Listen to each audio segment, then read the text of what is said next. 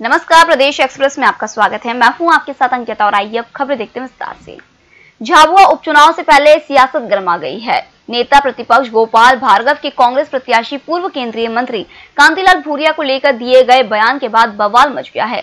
भार्गव पर झाबुआ कोतवाली में देर रात एफआईआर दर्ज की गई है। यह एफआईआर कांग्रेस प्रत्याशी कांतिलाल भूरिया को सोमवार को चुनावी सभा के दौरान पाकिस्तान का प्रतिनिधि बताने के चलते दर्ज की गई है। एसडीएम झाबुआ विधानसभा रिटर्निंग ऑफिसर को प्रतिवेदन दिया गया है। प्रदेश में दुग्ध ग्रहों से डेयरी प्लांट तक दूध सप्लाई के दौरान चोरी और मिलावट रोकने के लिए सरकार अब टैंकरों को इलेक्ट्रॉनिक लॉक से बंद करने की योजना बना रही है।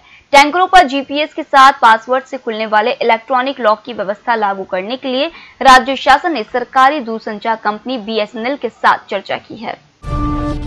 हनी ट्रैप कांड की मुख्य आरोपी श्वेता विजय जैन निकली। वह अफसर और नेताओं से दोस्ती गाट कर आरती से दोस्ती करवा देती थी। आरती उन्हें जाल में फंसाकर वीडियो बना लेती थी। फिर श्वेता के इशारे पर रुपए वसूलने का काम होता था। इंजीनियर हरभजन के लिए भी इसी तरह जाल बिछाया गया था।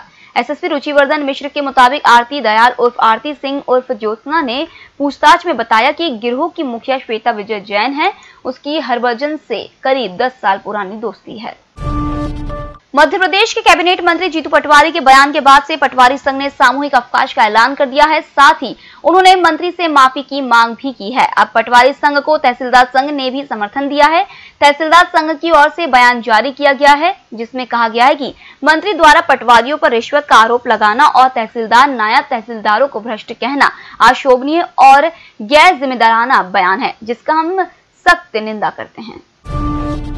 जबलपुर से चलकर हज़रत निजामुद्दीन की तरफ़ जाने वाली जबलपुर निजामुद्दीन एक्सप्रेस से बीती रात एक चौदह पहिया ट्रॉला टकरा गया। टकराने के बाद ट्रॉला घिसटता हुआ दूर तक चला गया। हादसे में जनरल बोगी के गेट पर बैठे कई यात्री घायल हो गए। कुछ यात्री ट्रैक पर गिर पड़े। घायलों की संख्या 12 से अधिक बताई जा रही है। इनमें से तीन की हालत गंभीर बताई जा रही है।